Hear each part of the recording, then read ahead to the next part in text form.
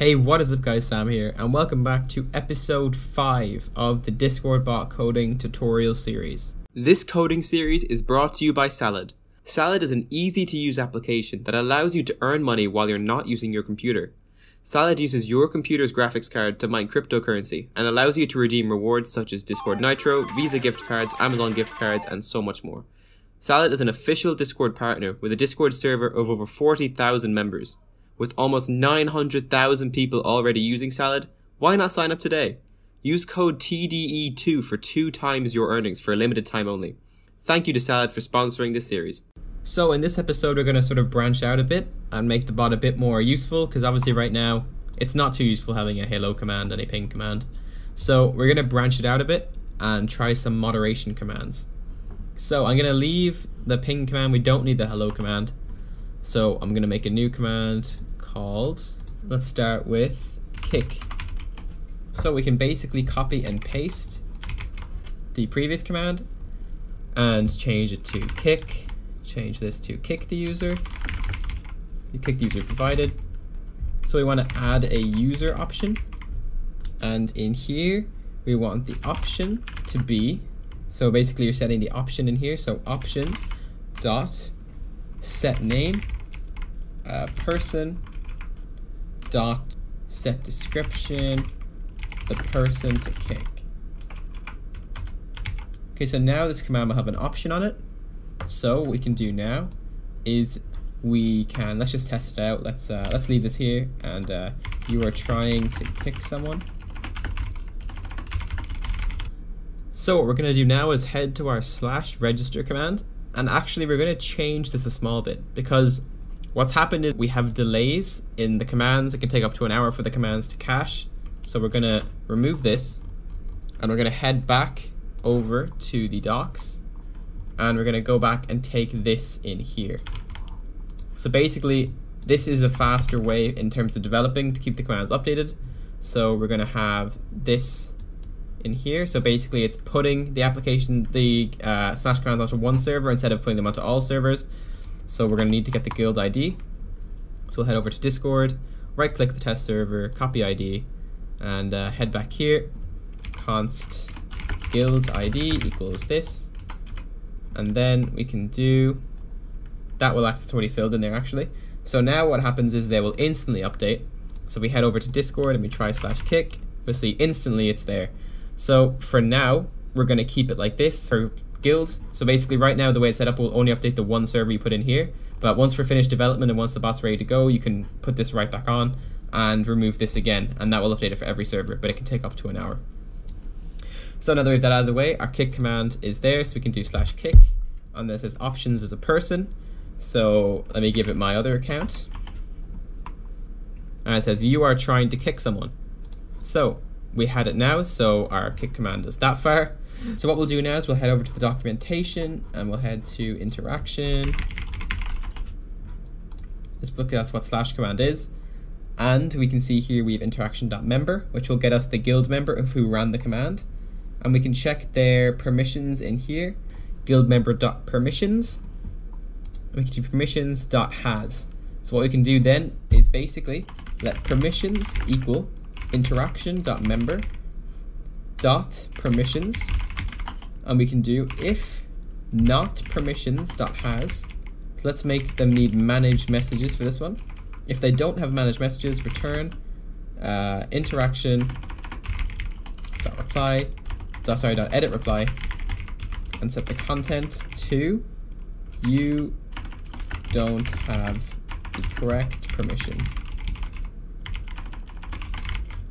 So for the sake of testing here, since I obviously have managed messages, oh, messages, sorry, uh, since I obviously have managed messages, I'll remove the exclamation mark. So this is saying if they have managed messages, say you don't have the correct permission, this is just for testing, obviously. So we'll head back here and I'll try slash kick. You do you don't have the correct permission. And if I add back the exclamation mark, so if now it actually works properly, and now I try slash kick, you are trying to kick someone. So we can have now we now have a permission barrier set up for the command.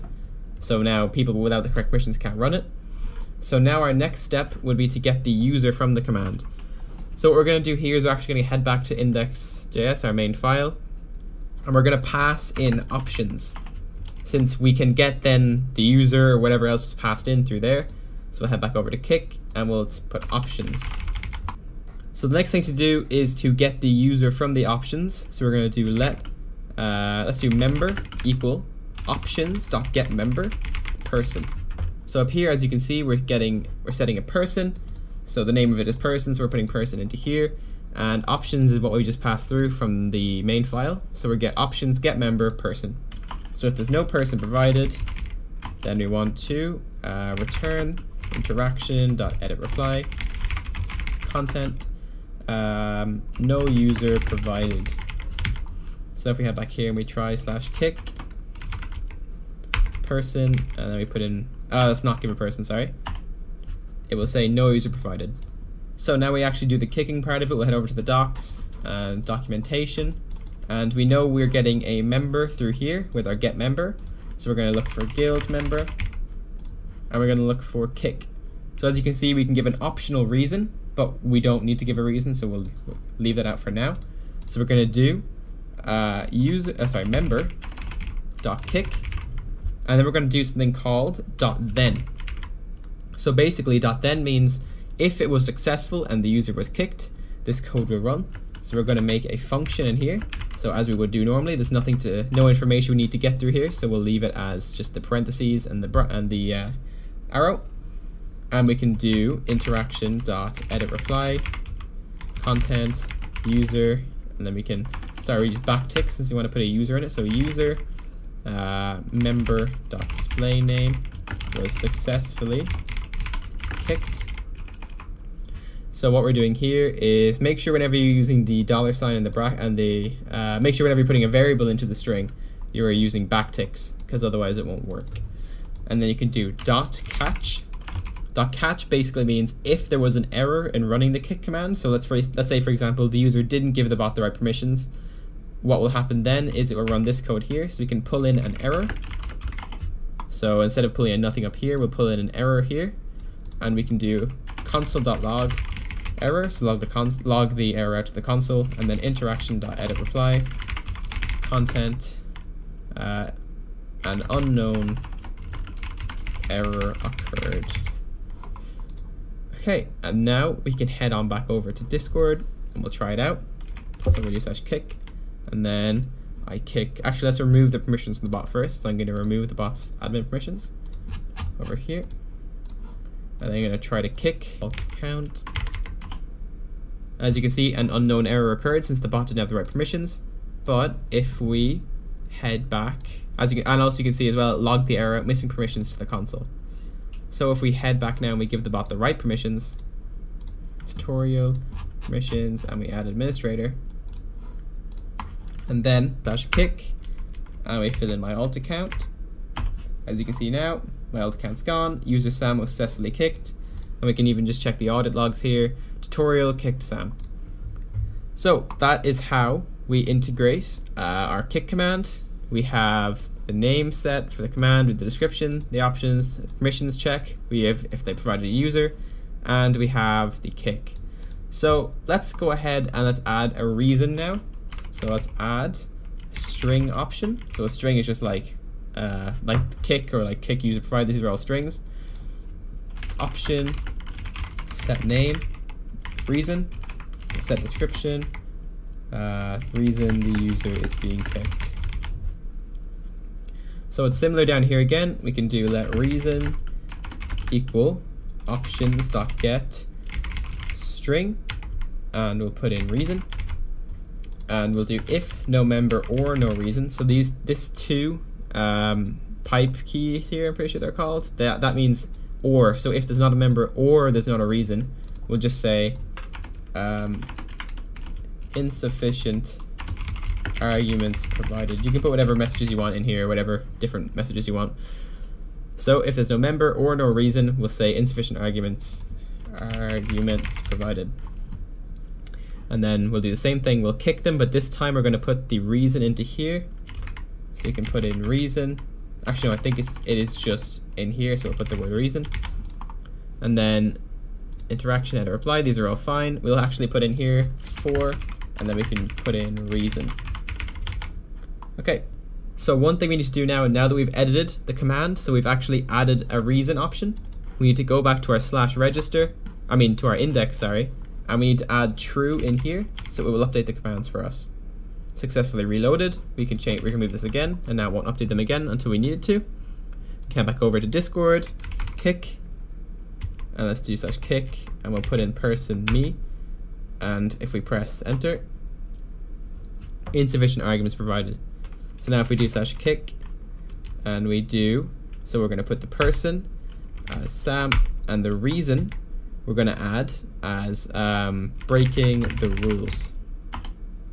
As you can see now, user Sam was successfully kicked for breaking the rules. I've disappeared from the server, and the audit log, I have been kicked for reason breaking the rules. And one thing we can do is we can go up here and we can change these options to dot set, sorry, dot set required true. So we can make it that these are required for the command because they otherwise they will come up as they are now. They'll say optional, so we'll go back here, change this to true, and then we'll remove it again. And there we go. Now we have our updated slash command. So if we go back here now, slash kick, we'll see person and reason are no longer optional. You now have to define a person and a reason. So it will actually, it says this option is required, specify a value. So that prevents people from doing the um, an insufficient arguments error or anything like that. So now that we have that in, we can pretty much remove the um, error here because we know that they'll give a member and a reason. So we can leave that removed and this command will now function as it did before, except now with the required fact that they do need to provide um, the user and the reason. So next we'll move on to the ban command, which is going to be very similar. So we can pretty much copy and paste this over, ban.js. And one thing, the only thing we really need to change is, well, first we need to change this to ban, change this to ban the user provided. These can pretty much stay the same. Um, we might want to up the permission level to, let's say, uh, manage server. Oh, sorry, manage guild, not manage server. Manage guild. And other than that, we have to change this to ban. And we'll double check that ban has no other uh, requirements. So we'll go head over to ban here we'll head over, sorry, to guild member. And we will go to ban. As you can see, there are options in here. So the number of days to delete the user's messages and the reason. So we're going to go back here. So passing reason in here now won't work because it's multiple options. So we need to pass an object. And in the object, we'll pass the reason to be the reason above and we will pass the days, the number of days to delete the messages to be 7. So we'll completely delete the user's last week of message history just in case that they'd been acting up and that's the reason they got banned.